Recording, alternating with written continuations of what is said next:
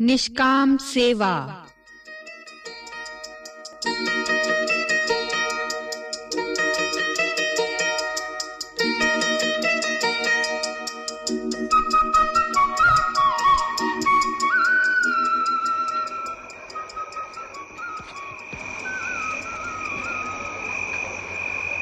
अरे घिसू।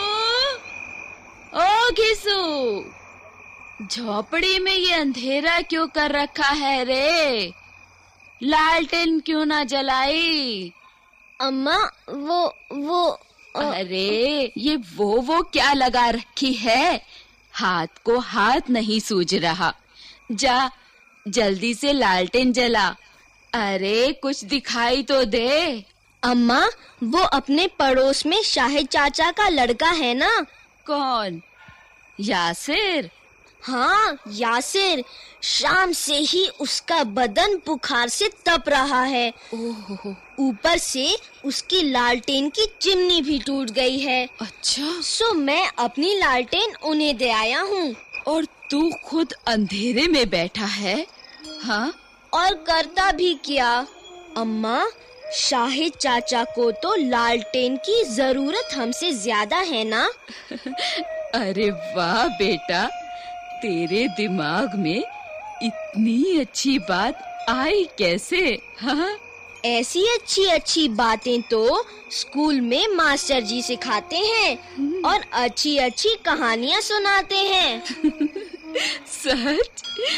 पढ़ने लिखने से बच्चे कितने समझदार हो जाते हैं। अरे मेरा बेटा। अम्मा मास्टर जी कहते हैं कि अपनों की चिंता तो सभी करते हैं कभी दूसरों की चिंता भी करनी चाहिए। हाँ बेटा शाहिद को कितना अच्छा लगा होगा कि उसके पड़ोसी मुसीबत में उसका साथ देते हैं। हाँ, सच कहूँ अम्मा मुझे तो किसी की मदद करने में बड़ा अच्छा लगता है। हाँ बेटा तुमने तो बड़ा ही अच्छा काम किया है और बदले में अपने लिए कुछ भी नहीं चाहा हाँ?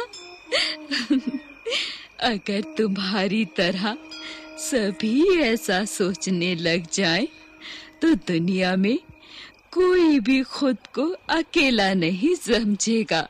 शाबाश शाबाश बेटा।